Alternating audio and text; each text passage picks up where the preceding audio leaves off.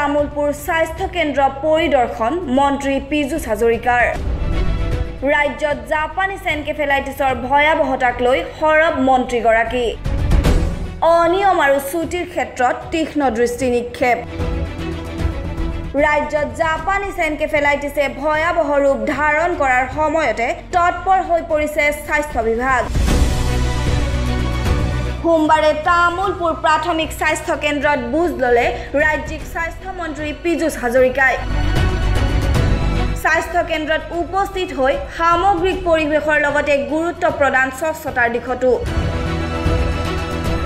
মন্ত্ৰীগৰাকীয়ে চিকিৎসালয় কৰ্তৃপক্ষৰ কাৰ্যত সন্তুষ্টি প্ৰকাশ কৰি সকলো চিকিৎসক নাৰ্ছ কৰ্মচাৰীক নিজৰ কৰ্তব্য পালন কৰি যাবলৈ কয়।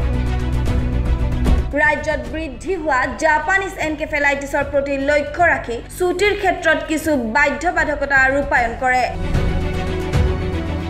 অনিয়মিত স্বাস্থ্যকৰ্মীক কঠোৰ সকিয়নি প্ৰদান কৰে মন্ত্ৰী পীযুষ হাজৰিকাই।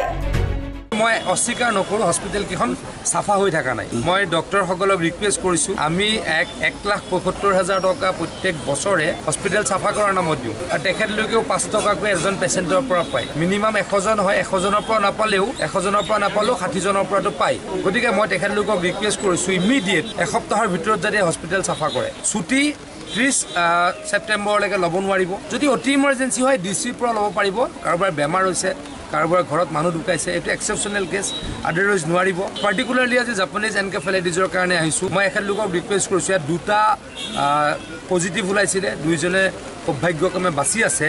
কিন্তু এই এৰিয়াবিলাকত যাতে ফগিং হয় আৰু অলপ যদি কাৰোবাৰ মানে জ্বৰ হৈছে বা তেনেকুৱা চিমটমছ ওলাইছে ইমিডিয়েট ব্লাড টেষ্ট কৰিবলৈকে মই সকলোকে ৰিকুৱেষ্ট কৰিছোঁ।